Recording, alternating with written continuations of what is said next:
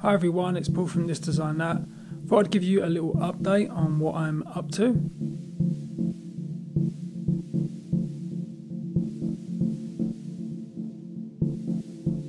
I'm working in steel today. I don't usually work in steel because my CNC can only handle aluminium, but I need to cut some T-slot nuts here for my screen print table upgrade.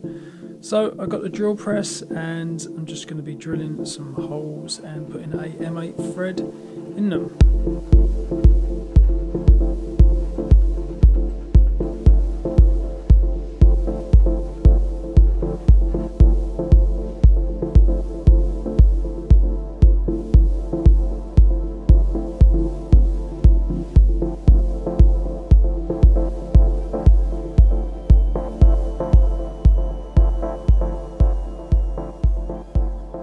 There we go, that's my first time drilling steel. Tried to do it on the CNC before and it failed miserably. You obviously saw the drill press, uh, I picked that up from eBay. Um, I might do a full video on that, but all I've done is I've just got a file, just taken off the edges, uh, just to make them a little bit less sharp. I think I've saved myself a bit of money here. To buy the actual T-slot nuts from the company that, that I bought this T-slot from, it worked out like, I think nearly one pound per nut, which is ridiculous, really. I bought that entire uh, steel bar that you saw. I think it cost me like six pound, and I got, I think I got about thirty chopped up from it, which is definitely some nice savings. It's, it's such a simple thing. Um, you know, I was just looking at it on the website and just thinking, why on earth do I not try and make some of these myself now that I've got the, got the drill press? I mean, without a drill press, I think it'd be really hard to, to hand drill this. I've tried to hand drill steel before with just my cordless drill.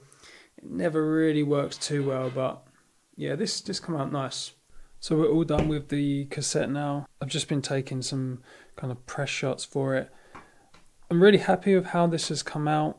Uh, we had a few headaches along the way, but it looks really nice. The foil comes out so nice on this coated paper, and the embossed binary that was actually really easy. Um, didn't have too many issues with that at all. The cassette is all done. I'm just kind of waiting for the cassettes to come now, and then we will be putting them up for sale. You can see that I'm uh, kind of in the process of building this screen printing table. I've kind of stumbled onto an issue and that with all of the frame all put together, you can see this is all done now. Um, can I lift it up?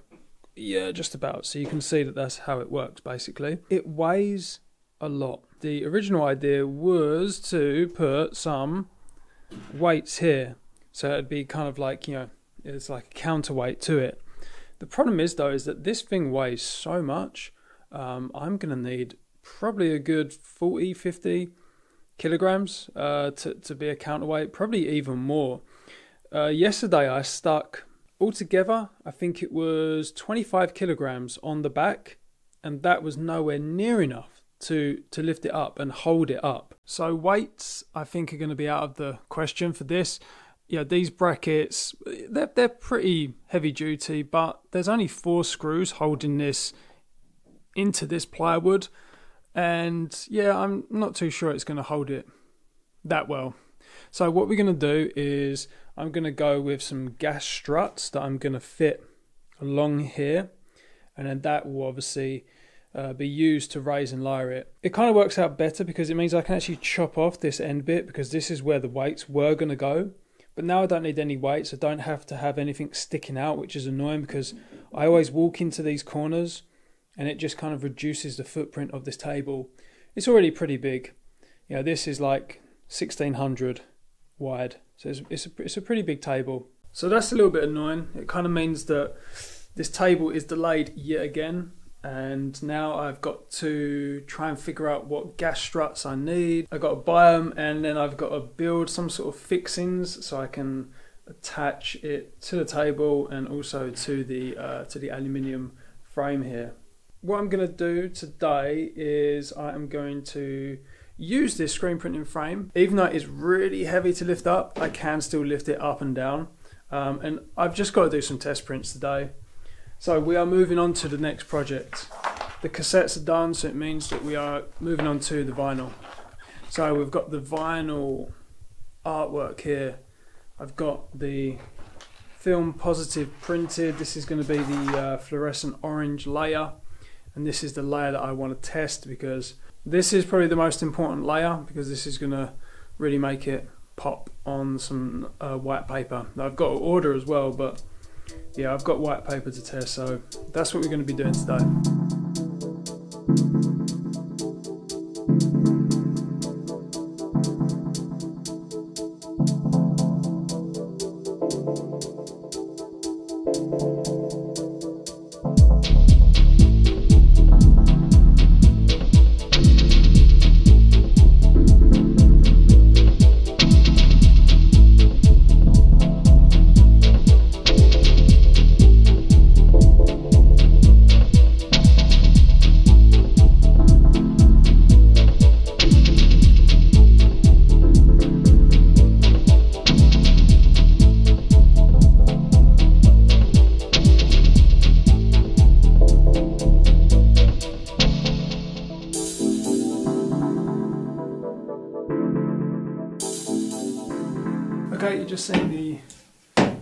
Process that I go through. I've shown it a few times, but it's always just nice to show the process in case you uh, haven't seen it before.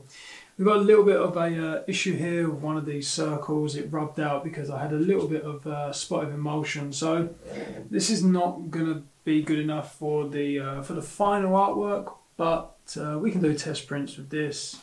The film positive that I actually printed with the, the printer, it is a little bit pixelated and I knew this and I thought it might give it just a little bit of an interesting texture because I don't want something so clean. But it really does look quite pixelated now. It's actually um, on the emulsion. So we're going to print it and we'll see how it looks. I got a feeling that I might have to turn this into just a uh, into a vector. So you can kind of see how this is going to work. I've got these little toggle clamps here.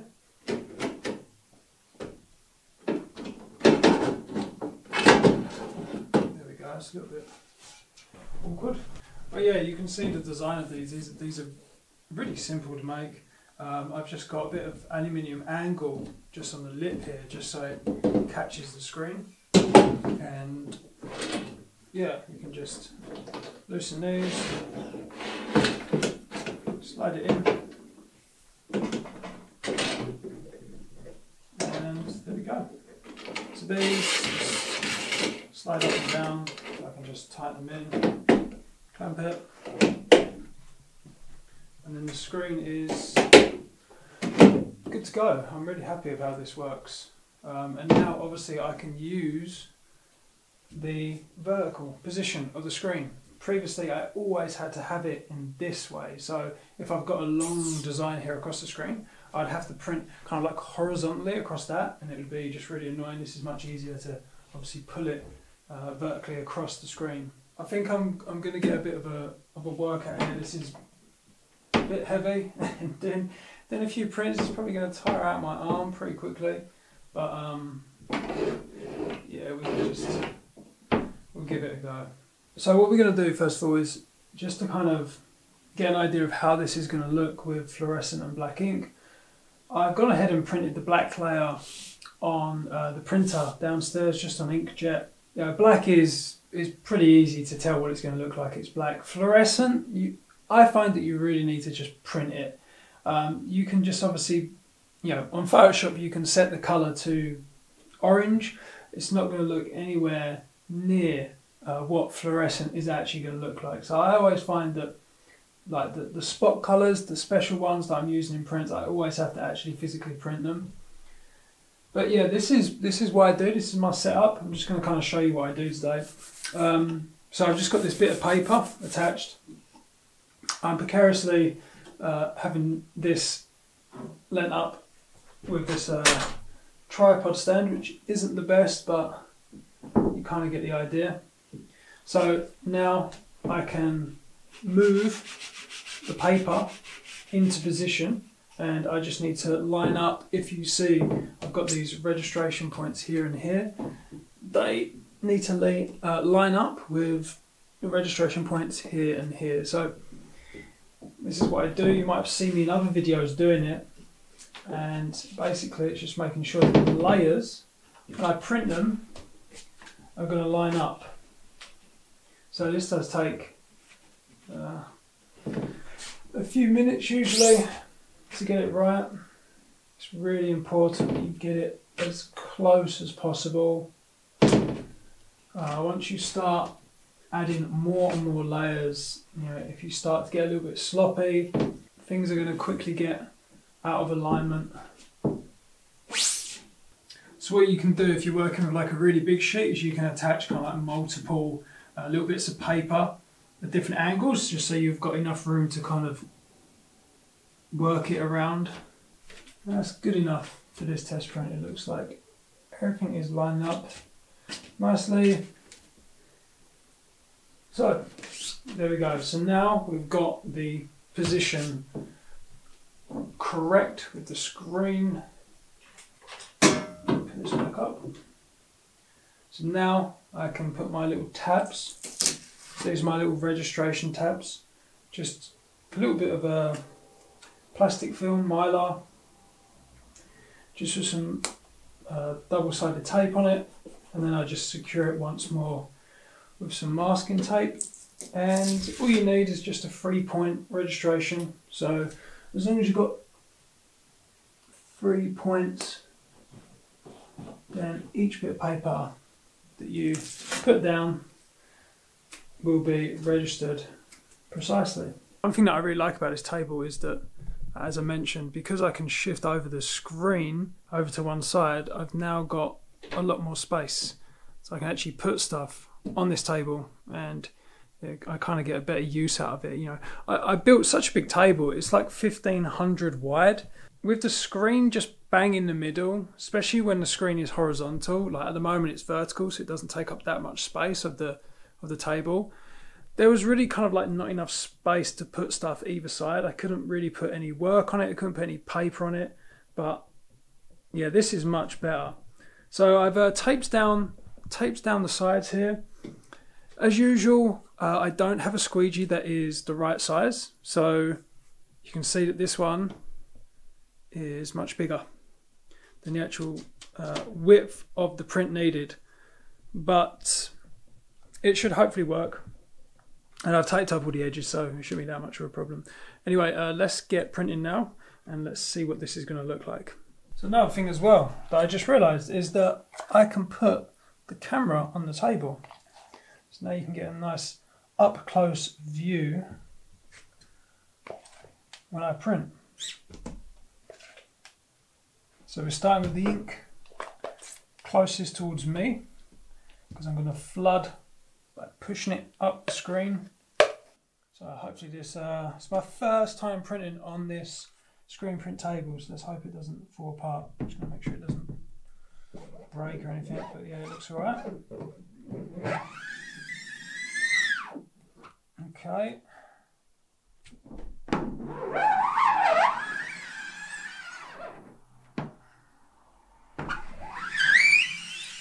It should get less squeaky when I've got a little bit more ink across the screen here. So let's try printing it. I ain't got any vacuum on, but it should be okay.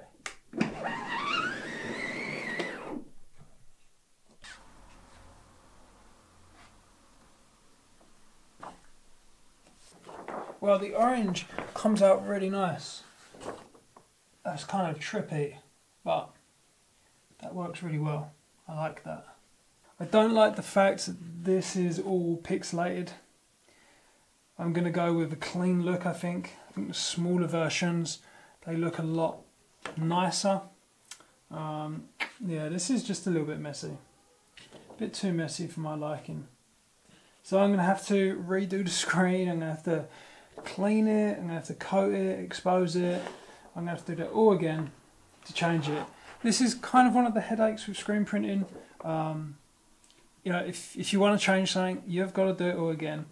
But I guess that, you know, when you, when it comes to printing and you can print in kind of like fluorescent colors, you know, you can print in like fluorescent orange and you see the results on paper, it always looks amazing and it always gives me that kind of excitement. So it makes the process worth it, I guess. So I'm going to call that a success. Uh, I think the design works, and now it's just all about kind of tweaking it. And I think that the next screen that I make, I've got to clean this screen again. I think then we'll be uh, ready to start, you know, doing full production run for this vinyl. The thing I need to figure out next is how exactly I'm going to cut this up because obviously I've got to cut it and fold it myself.